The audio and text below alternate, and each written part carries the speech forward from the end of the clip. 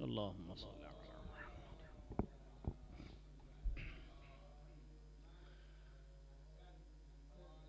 بسم الله الرحمن الرحيم. والحمد لله رب العالمين ولا حول ولا قوة إلا بالله العلي العظيم. إنا لله وإنا إليه راجعون. وأفوض أمري إلى الله إن الله بصير بالعباد.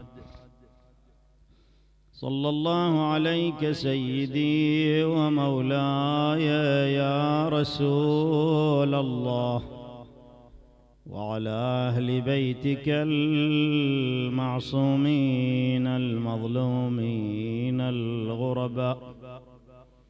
صلى الله عليك سيدي ومولاي يا أبا عبد الله. صلى الله عليك يا ابن رسول الله وابن أمير المؤمنين وابن سيد الوصيين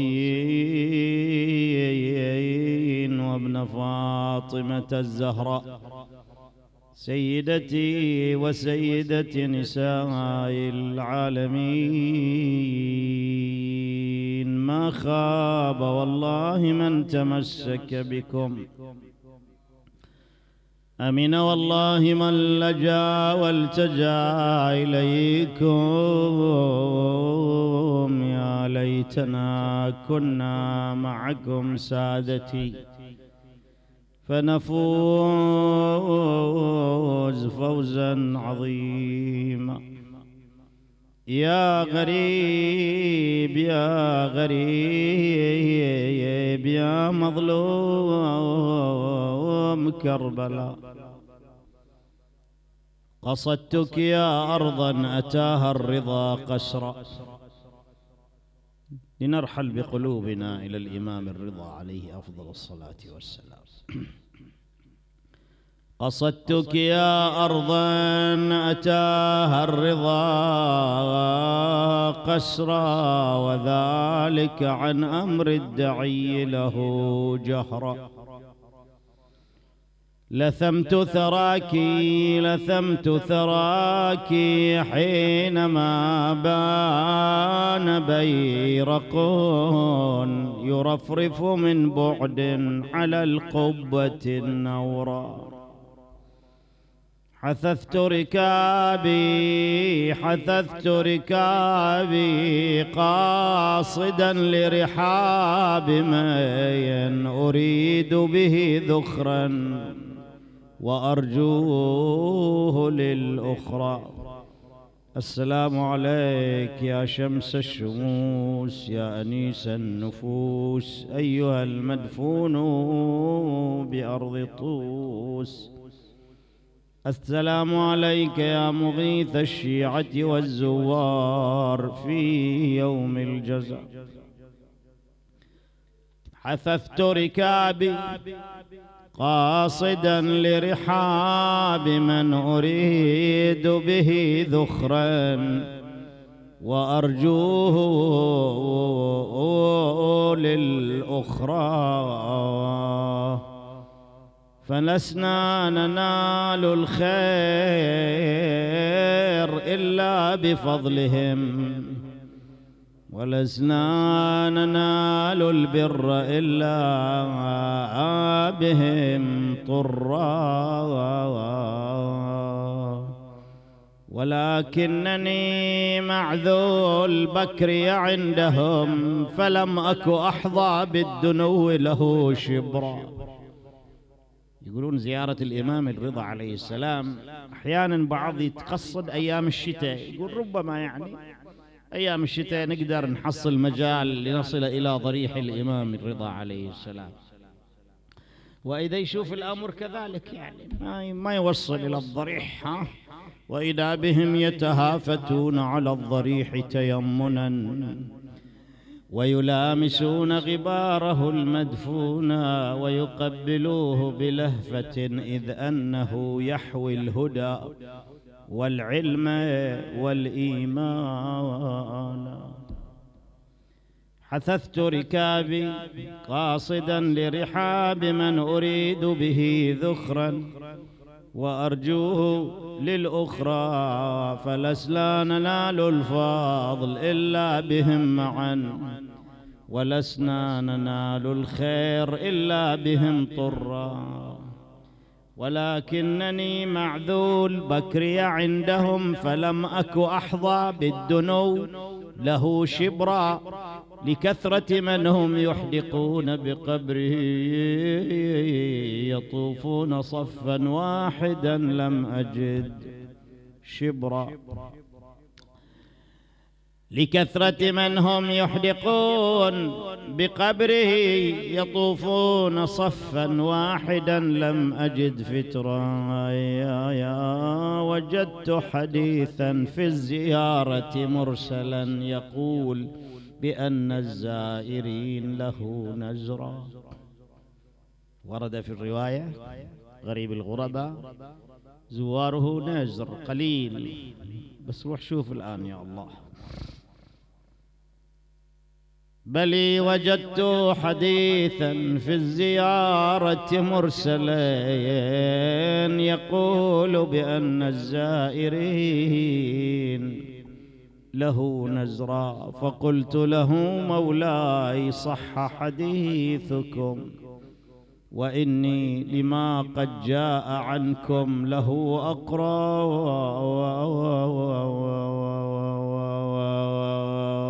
له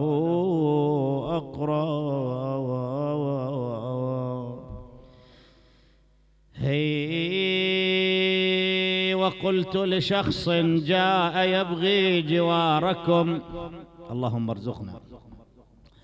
وقلت لشخص جاء يبغي جواركم. وقد هجر الأوطان والاهل والوفرا. يسمى شهابا وهو من أهل بلدتي. ومن طاب حبا فيكم وزكى خبرا. يا صاحبي هل قد سمعت حديث من يقول بأن في غربة لهم قبرا؟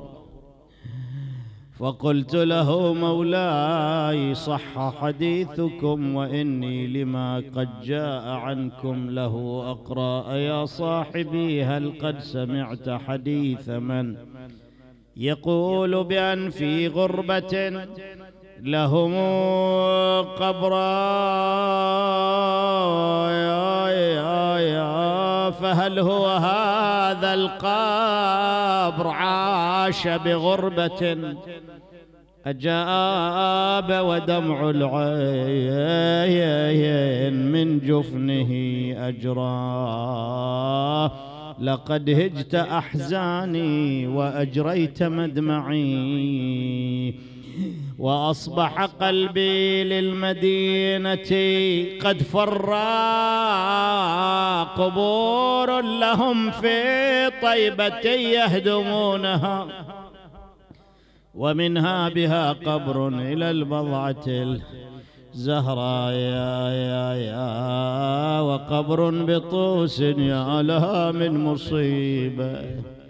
ألحت على الأحشاء. بالزفرات بالحسرات بالحرقات إلى الحشر حتى يبعث الله قائما. يفرج عنا الهم والكربات يا طوس ضميت بدر من آل عدنان. فزت بقبره وارتفع لك بالملشة.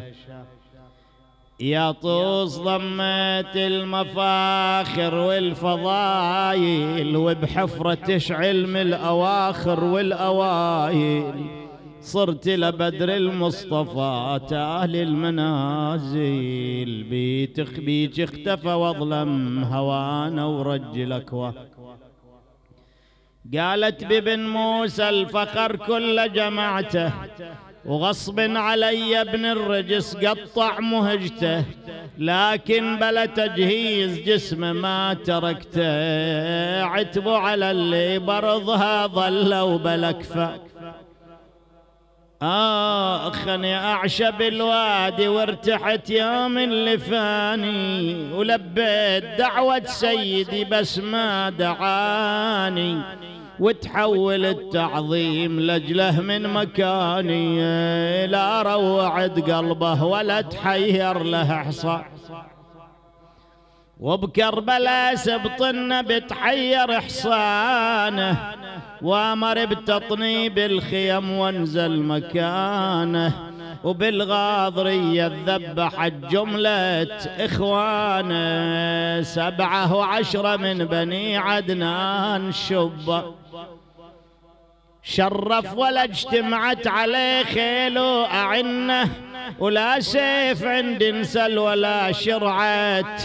أسنة ولا هضمت ولا منعت الماي عنه وحسين برض الغاضري انذبح عطشة أويلي أويلي من عقب موته ما سبيت مخدراته ومن الخدر والصان ما طلع بناته.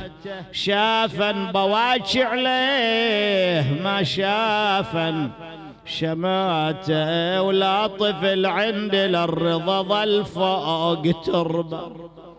والغاضرية كم طفل بها تعفى. فوق التراب وكم بدار بها تكوار غارق بدمه وكم يتيم يتيم بحبل تنجار. بين العدا وكم راس لاحب راس الاسلام ولكن الأمر لله. لا حول ولا قوة إلا بالله العلي العظيم. وما توفيقي إلا بالله عليه توكلت وإليه أنيب. ألا إن خير الناس نفسا ووالدا ورهطا واجدادا علي المعظم أتتنا به للعلم والحلم ثامنا إماما يؤدي حجة الله تكتم إمامنا الرضا عليه السلام. البحث عنه له جوانب. ولكن سنأخذ منه الجانب الاجتماعي. ما هي الحالات التي الاجتماعية ما هي أخلاقه الاجتماعية صلوات الله عليه؟ سيكون بحثنا أولا مع الناس ما هي كانت علاقته مع الناس؟ ثانيا علاقته مع خدمه ومن يعمل عنده. ثالثا علاقته مع ضيوفه. رابعا علاقته مع أهل بيته. خامسا علاقته مع أعدائه. هذه خمس أمور طبعا سنمر عليها بما يتلائم والوقت. الجانب الأول علاقته بالناس. علاقة الإمام الرضا بالناس الاجتماعية اولا يصفه المحققون والمؤرخون يقولون ما جفى احدا قط. أحدا خل تحت خط. يعني سواء كان مسلما سواء كان غير مسلم سواء كان من أصل من أوليائه سواء كان من أعدائه سواء كان من المحسنين إليه سواء كان من المؤذين له. ما جفا جفا. الجفاء شنو؟ الجفاء هو القطيعة. والقطيعة على قسمين. تارة تكون فعلية يعني يصير انفصال بين شخص وشخص. وتارة تكون كلامية. وربما الكلامية أفظع وأشد وأخطر. لأن الآن كثير من الخلافات الآن التي نراها في المجتمع أو نراها بين الدول كلها من الكلام. ومبدأ الحرب الكلام. ورد في الحديث أن كلم اللسان أشد من كلم السنان. الكلم يعني الجرح. رب كلمة تشعل فتنة. رب كلمة تفرق بين المرء وزوجه. رب كلمة تفرق أسرة. رب كلمة تفرق أمة.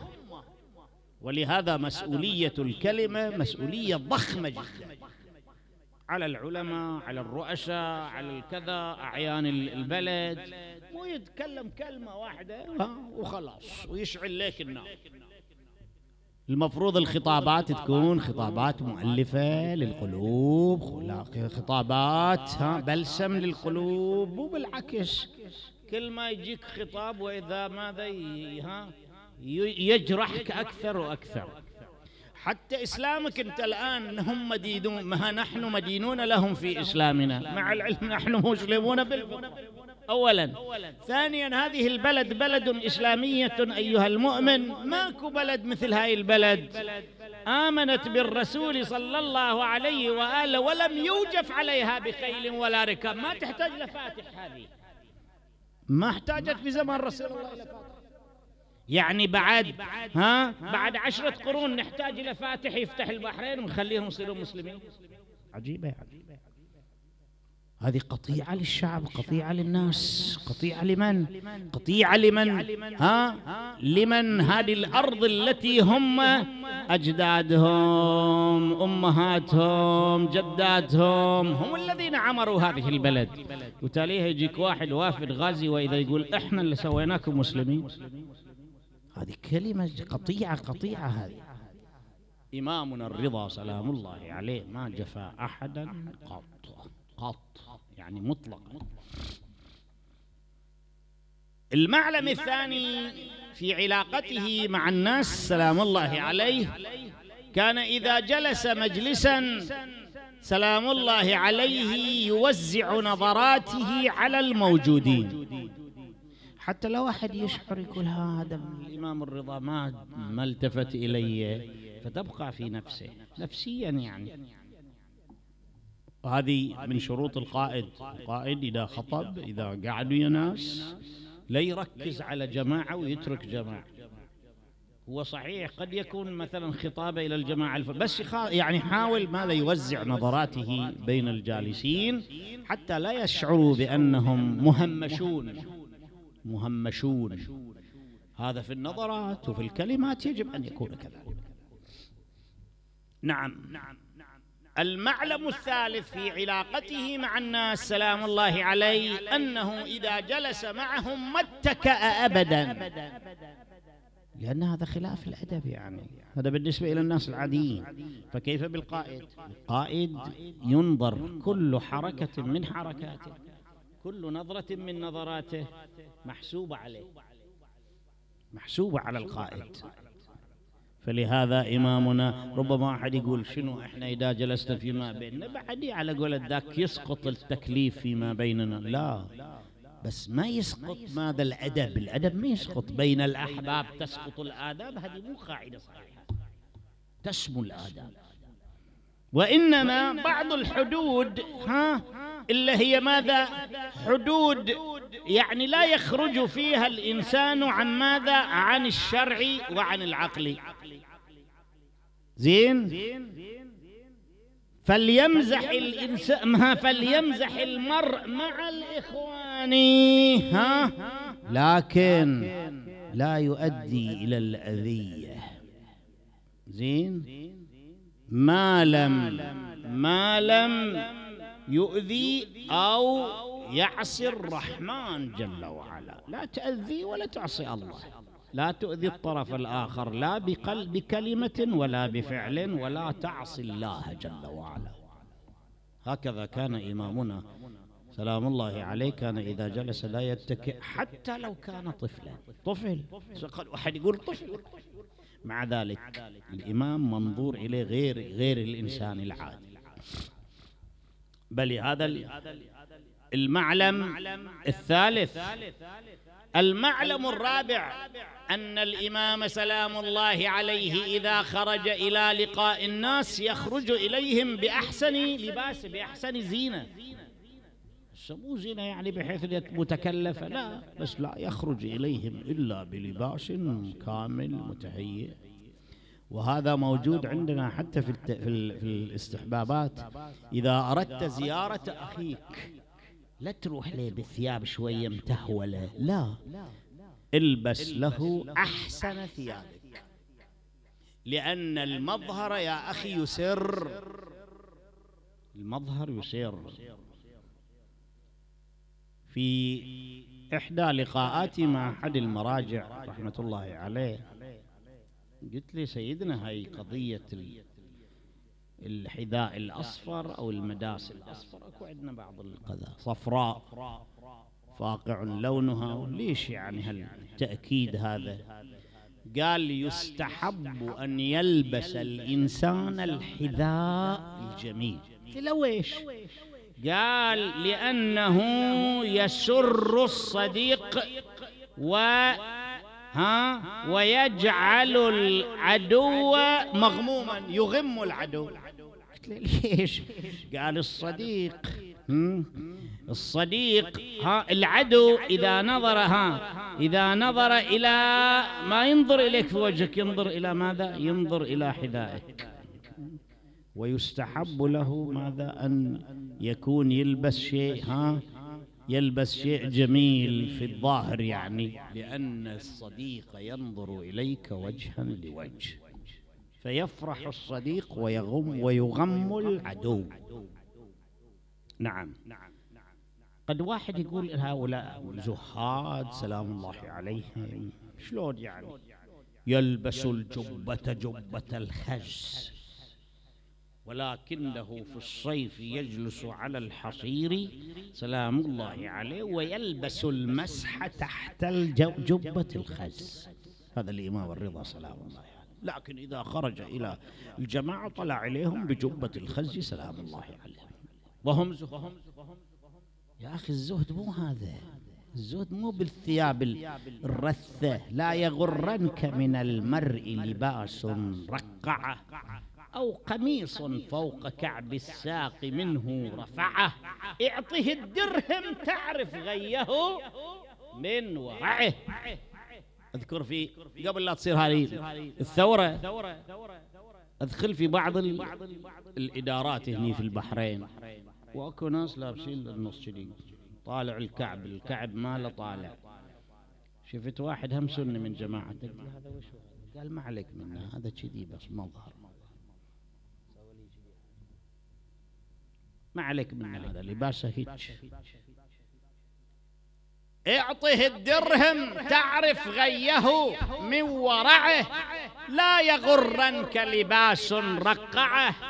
أو قميص ها لا يغرنك منه قميص رقعه أو لباس فوق كعب الساق منه رفعه. الإمام يسأل سلام الله عليه الزوج شنو؟ قال الزهد أن لا يملكك شيء. ما يملك شيء. لا مال لا زوجة لا جمال لا منصب لا لا لا الشيخ النراقي رحمة الله عليه ما دام أنا مريت بهذا. أكو عنده كتاب ندرسه إحنا في كتاب الأخلاق في الحوزة. شيخ عبد الحسين تذكره جامع السعادات. جامع السعادات أربعة أجزاء. ندرسه في الحوزة كتاب أخلاق. فسمع أحدهم أحد الزهاد يسمونه. سمع بأن الشيخ النراقي ها كاتب كتاب في الأخلاق وفي الزهد. قال أنا بروح أزوره راح زاره دخل عليه. وإذا لباس جميل لطيف عباية ممتازة. ها دخل عليه في المجلس. وإذا مجلس جميل كذا يستقبل به الضيوف. قال شنو هذا؟ كاتب كتاب جامع السعادات وكتاب في الأخلاق والزهد وهو أصلا ولا هو زاهد. الزهاد الأول يحملون فد شيء شايفينه ها؟ يخلون فيه اللي يسمونه يخلون فيه الأشياء مالهم الطعام الكذا الأدوية بعض الشيء الكذا يخلونه في تلك اللي يحملونه وياه. هذا كان حامل وياه. الصفرطاس مال الأول يسمونها هني الأول يسمونه صفرطاس. قال لي الشيخ خلينا نطلع برا شوية. هو عرف قصده يا أخي. خلينا نطلع. طلع ونسي الصفرطاس ماله في البيت. إلى أن وصلوا إلى المحل. قال أنا برجع يا شيخ. قال ليش ترجع؟ قال الصفرطاس مالي نسيته في بيتكم. تبين هذا مسكين مملوك لهذا الصفرطاس وهو يظن أنه زاهد.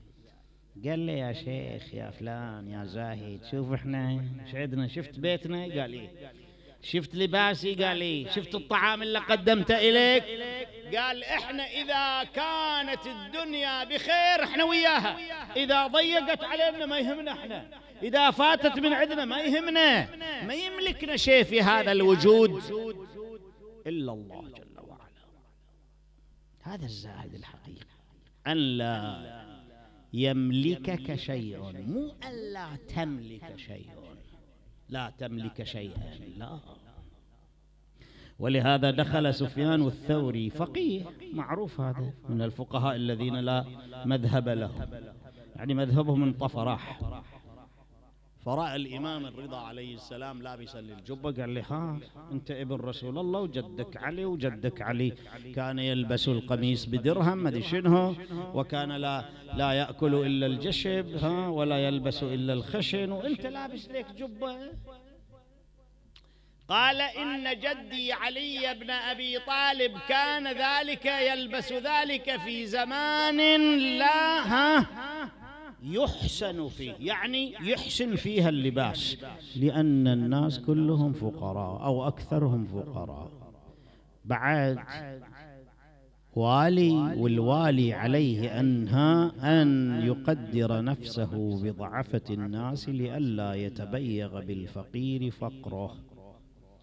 أما إذا أقبلت الدنيا فأولى بها أخيارها لو إيش أشرارها؟ أولى بها أخيارها. نعم.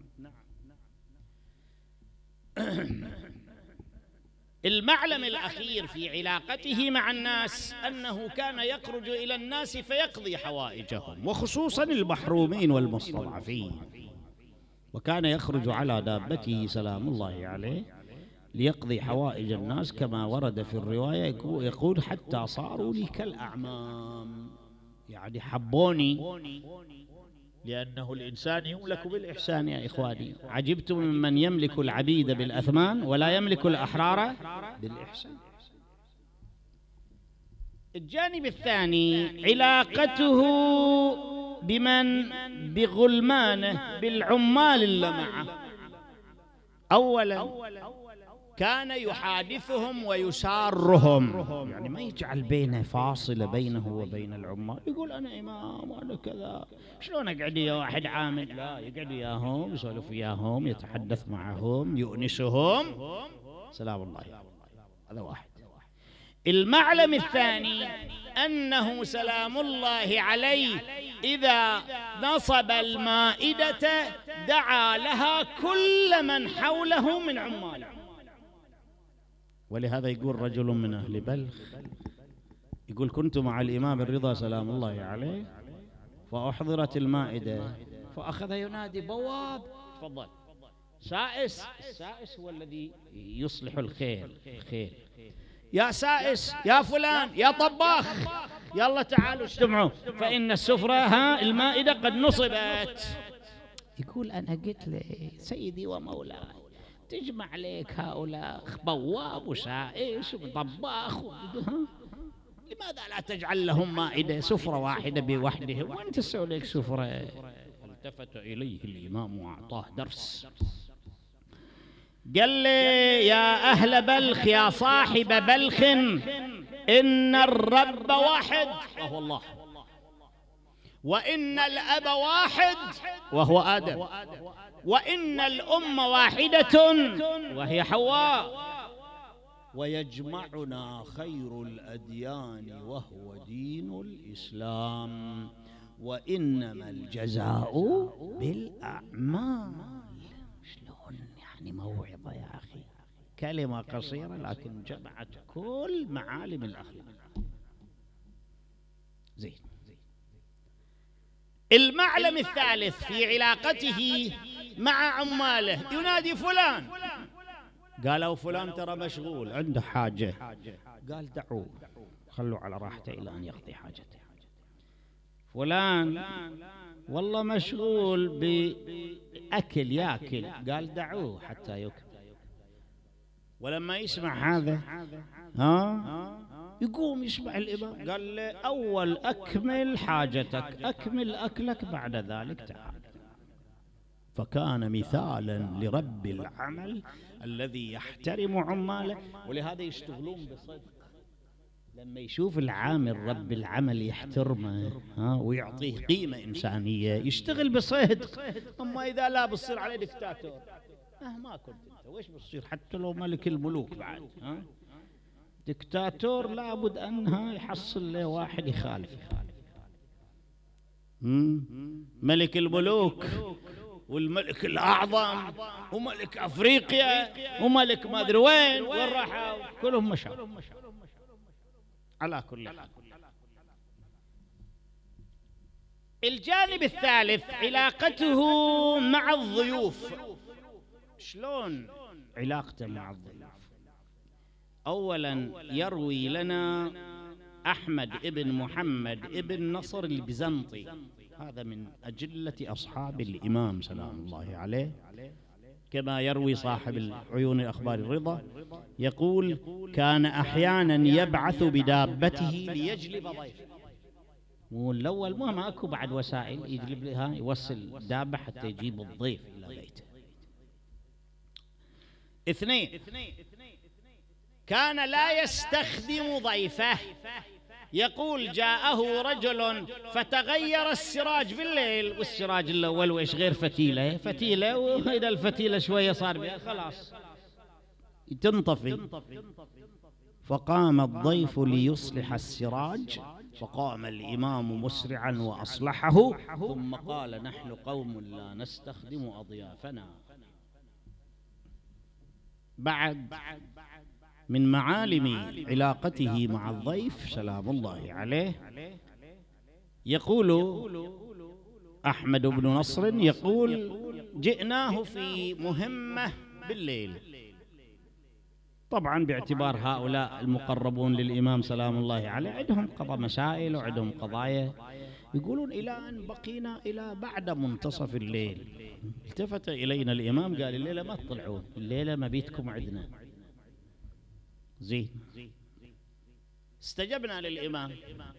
يقول وإذا بالإمام بنفسه قام وفرش لنا ها فرش الفرش الها وجاء لنا بمخدة مروية من مرو وبكساء قياصري من ها قياصري يعني روسي وبوسادة طبرية طبرية إلى طبرستان هاي الموجودة في إيران.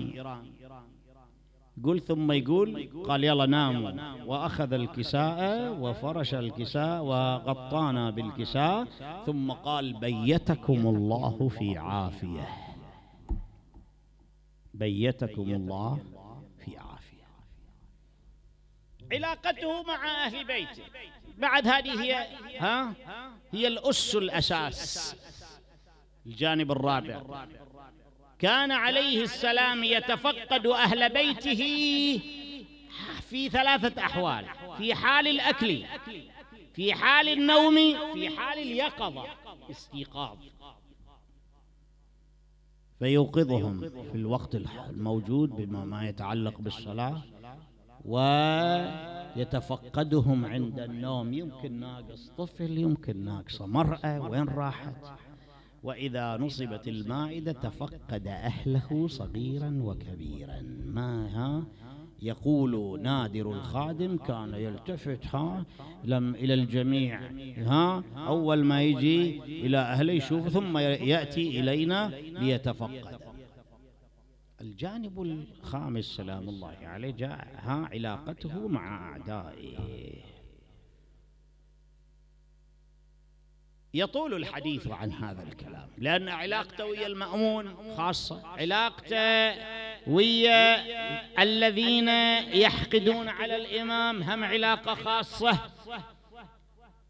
موقفه من ذاك القائد الذي أرسله الرشيد إلى الإغارة على بيوت الطالبين يسمونه محمد الجلودي هذا اللعين هذا السوى هذا أمره الرشيد أن أن يقبض على محمد بن جعفر قائم بثورة فإذا قبض عليه يقطع رأسه ثم يرسل راسه إلى عاصمة الخلافة بغداد. ثم يغير على دور الطالبين ويركز على دار الإمام الرضا سلام الله عليه. فأقبل ها تغلب على محمد بن جعفر فأخذ رأسه وأرسله إلى عاصمة الخلافة بغداد. ثم أغار على دور الطالبيين فلم يبق بيت إلا أغار عليه وسلبه إلى أن وصل إلى دار الإمام الرضا سلام الله عليه. استقبله الإمام الرضا في الدهليز. الدهليز هو الممر إلى داخل الحجر البيت الأول أكو يسمونه دهليز. فاستوقفه الإمام سلام الله عليه. قال له ماذا تريد؟ قال والله أنا مأمور بأن أسلب بنات ها آه، العلويات والطالبيات ها من كل ما عليه ولا أبقي عليهن إلا ثوب. قال أنا آتيك بالسلب. جاءه بالسلب وراح. ودارت الأيام يا أخي ها إنما الدنيا عواري والعواري مستردة شدة بعد رخاء. ورخاء بعد شدة. شوف الآن ملك الملوك وتاليه يصعبون سحاب. ها؟ مو صحيح؟ مو العام الماضي مرسي يقول كل عام وأنتم طيبين؟ في يوم عاشوراء. في ليلة عاشوراء. يبارك لهم يقول لهم كل عام وأنتم طيبين. الله الله. فرحان بعاشوراء يعني بقتل الحسين. يلا الحين خل كل عام وأنتم طيبين وهو في السجن. إنما الدنيا عواري والعواري مستردة شدة بعد رخاء ورخاء بعد شدة. وإذا يا جلودي وينك يا جلودي؟ لتغير على دور الطالبين. خذوك مكبل بالحديد. وأدخلوه على الإمام وأدخلوه على المأمون يوم ولاية العهد للإمام الرضا عليه السلام. الأعلام ترفرف على الإمام ها؟ والحرس من كل جانب ها؟ والأهازيج والأناشيد والخطباء والشعراء. لما دخل هذا الجلودي ارتعد. زاد خوفه. شاف الإمام الرضا بجنب الإمام قال أوه انتهى الآن. يا الله. يقولون الإمام سلام الله عليه. مال إلى المأمون قال له هب لي هذا الشيخ. الشيخ يعني الشايخ هب لي هذا الشيخ. قال لهم أما علمت ما فعل بكم يا ها يا أبا الحسن؟ قال له نعم أعلم. قال ولكننا أهل بيت لا نزيد على المذنب لنا إلا عفوا وكرما. ظن الجلودي بأن الإمام يحرض على قتله. فرفع عقيرته قائلا يا أمير المؤمنين يا مأمون. أقسم بالله وبخدمتي لأبيك الرشيد لا تسمع في مقالة الرضا. فضحك المأمون وقال أقسمت ونحن نبر قسمك. خذوا. شوفوا شلون هالنماذج العالية. ملكنا. فكان العفو منا سجية. ولما ملكتم سال بالدم أبطحوه وحللتم قتل الأسارى وإننا نعف عن العان الأسير ونصفح فحسبكم هذا التفاوت بيننا وكل إناء بالذي فيه ينضح. وظل الإمام سلام الله أربع سنوات هي مو أكثر من أربع سنوات. في في خراسان. بس يا أخي خراسان أصبح لها اسم عالي. خراسان أصبحت خيرات. خراسان أصبحت يا أخي ها موئل للقلوب. خراسان ولهذا اليوم الكل ضج على الإمام سلام الله عليه.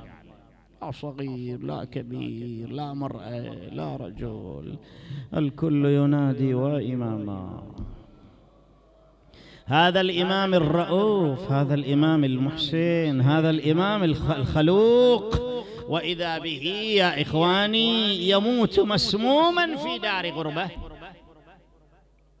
سلام الله عليك يا مولاي يا أبا محمد يا أبا الحسن يا علي بن موسى الرضا. السلام على الإمام المسموم. السلام على الإمام الغريب. السلام على الإمام المكروب. ورد في الرواية أن عندنا إمامين مكروبين ما قصدهما مغموم إلا فرج الله غمه أو مكروب إلا أزال الله كربا من هما أولهما إمامنا الحسين غريب كربلاء وثانيهما إمامنا علي بن موسى الرضا في هذا اليوم تسمع الضجات من كل مكان وأصبح الطوس بزلازل والخلق كلها بعويل. لجل أبو محمد تها لجل أبو محمد تهدد يا عرش يا خلق عرش الجلي والأحلام السود منشورة ومدامعهم تسيل اهتزت السبع العلية وبالأرض صار انقلاب. أويلي أويلي أويلي. قام شبله يغسله والدمع من عينه ما يعني الإمام الجواد حضر؟ إي نعم حضر ما الذي أدخلك والباب مغلق؟ قال إن الذي جاء بي من المدينة إلى خراسان هو الذي أدخلني والباب من أنت؟ قال أنا إمامك الجواد يقول رأيته وإذا به يقبل إلى الإمام يودع الإمام الغريب يودعه ابنه الوحيد ينادي في أمان الله. في دعة الله ثم فاضت نفسه الشريفة وقام في تجهيزه. الله جاءه ماء ببركة هذا الإمام. قام شبله يغسله والدمع من عينه مدد على المغتسل والماء جاه من السماء لكن بالطفوف حسين جده تغسل بفيض الدماء. أويلي أويلي ثم ذهب وغاب. وين الإمام؟ وإذا به رجع إلى المدينة بقدرة الله. استقبله عمه. وين أنت أيها؟ أين أنت يا ولدي? قال الآن أنا رجعت من دفن والدي هذا هيجت لاعاتي يا ابن خير البرية. قل لي عليه من آمر تنصب عزيز يقولون الأول عندهم عادة إذا في مصيبة ينادي رئيس العشيرة يقول اصنعوا لنا طعاما لأن عندنا مصيبة. هذا أقبل إلى عمه قال له عم عم عمي اصنعوا لنا طعاما. لماذا؟ قال عندنا ماتم على أية مصيبة إن مصائبنا لا تحصى ولا تعد هذا هيجت لوعاتي يا ابن خير البرية. قل لي من آمرة ننصب عزي. يا ابني مصايبنا عظيمة شيب الشاب. نبكي على ضلعين مكسورة ورا الباب. لولا الجنين اللي تعفر فوق الأعتاب لو جدنا اللي دهانا بكل رزي. لو ضربة المحراب نبكي يا ضي العين لو لجل عمنا الحسن لو نبكي على حسين. لولا الاجساد اللي بقت من غير تكفين لولا الحريم اللي تسمت خارجي ننصب الماتم ما تقل يا فجيعة للي اندبح ضامي على صدره رضيعة. لولا الإمام اللي نشر مذهب الشيعة جعفر من المنصور قاس كل بلية. ما تنحصى يا ابني مصايبنا بتعداد الله مسجون امتلت شبان. وأولاد بالأمس خيض الرمية بجسر بغداد. بين الاعادي جنازة ظلت رمية. لو نبكي يا ابني للذي ماتوا بالحبوس. راحوا من الملل هلا معين رموس؟ يا نور عيني لو لفالك خوار من طوس. ليكون أبوك انصاب يا بالمني. ويلي حنوج ذب حسرة وزفر زفرة شديدة وقال لي يا ابو يا عمي حلتي مصيبة جد ويا الرضا المامون سواها. كيده قطع مهجته وزلزل السبع العلية مسموم مات بدار غربة غربة ما حضرته. يا ليتكم يا ولاد أبو طالب أبو طالب نظرتوا ويا ليت شلت جنازته وقبره وقبره حفرته. محلى الأهل حال النعاش تمشي سوية. قضى غريب خراسان بغصته نفس الفداء. لغريب في خراسان يا الله. بسم الله الرحمن الرحيم. أمن يجيب المضطر إذا دعاه ويكشف السوء. أمن يجيب المضطر إذا دعاه ويكشف السوء. اللهم نحن المضطرون نسألك بحق المضطر صاحب العصر والزمان وبآبائه الطيبين الطاهرين وبثامن الأئمة الطاهرين إمامنا الرضا.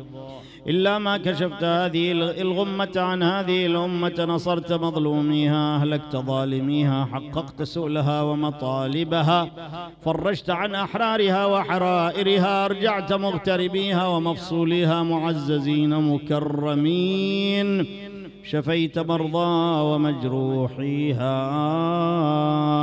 حفظت جماعتي الحاضرين سامعات وسامعين تقبلت منا ومنكم ومن القائمين على هذا الشرف العظيم. إلى أرواح موتاهم وموتاكم وموتى المؤمنين والمؤمنات وإلى أرواح علمائنا خصوصا إلى الشيخ الجمري في ذكراه. وإلى خطبائنا خصوصا إلى الشيخ الباقري في ذكراه وإلى شهدائنا شهداء البحرين وشهداء الإسلام وإلى الصالحين والمؤمنين. رحم الله من يقرأ الفاتحة قبلها الصلاة على النبي وآله الطاهرين.